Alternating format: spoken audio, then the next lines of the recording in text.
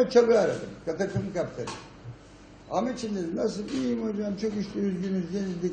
Ahmet dedim sizler dedim İlhan Bey'in dediğine göre soyunma odasında kapıyı kilitlemiş toplantı yapmışsınız ve Emrah'a toplu olarak bu hoca gitsin biz bu takımı ligde tutarız.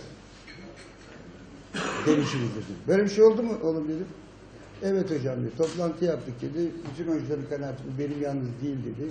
Biz dedi siz mesela dedi son antrenmanda biz üşüdük dedi durduğumuz için dedi. Ee, siz dedi çok toplantı yapıp dedi toplantı yap- yaptınız dedi. Bir de hocam dedi ya biz küme düşecek bir takımız dedi. Ya siz niye defansif oynatmıyorsunuz dedi. Çok ofensif oynattınız dedi. Biz dedi maç kaybetmememiz lazım.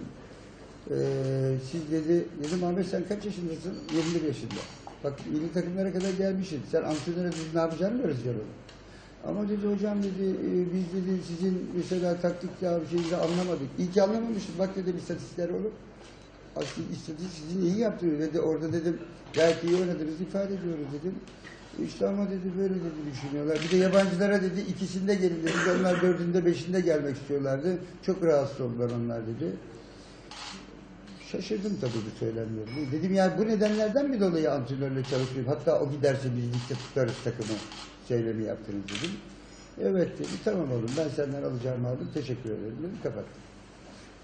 Yardımcılarımı ben takımı gruplara bölerim. Yabancı 12'şer tane oyuncuyu yabancı dilden hocalarıma dağıttım. Hepsini arattırdım. Yabancı oyuncuların ifadesi kesinlikle böyle bir şey demedi. Türk oyuncuların e, bir tek e, ulaşamadığım Berat oldu. E, onun dışında bir de 3-4 tane yabancı oyuncuya ulaşamadık. Onun dışında e, diğer Türk oyuncuların hiçbir tanesi yemin billah diyorlar böyle bir şey olmadı nereden çıktı? Allah Allah. Sonra tekrar e, İlhan abi döndü bana. Yılmaz dedi sana dedi bir 100 bin lira vereyim bu konuyu kapatalım. Dedim İlhan abi artık dedim bu iş para sen bana yaptın bu hatayı dedim parayla bunu ödeyemezsin. Bana çok büyük zarar verdin. Yaptığın çok yanlış bir şey. Canı sağ olsun önemli değil. Ee, Emrah denilen kardeşimiz aradı. Emrah dedim ya hocam vallahi bana oyuncular geldi böyle söyledi ben de yani burada Emrah denilen aracı arkadaşımız maalesef oyuncuların ifadesi ve benim ona rapor diye sunduğum aslında, aslında rapor olmayan sırf bilgi verdiğim konuyu İlhan Bey'e nasıl ifade ettiyse onun da o andaki anlık tepkileri. Çünkü kendisi hakikaten çok rahatsız.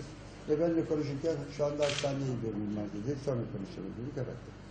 Tekrar Ahmet Çalık beni bir panikle aradı.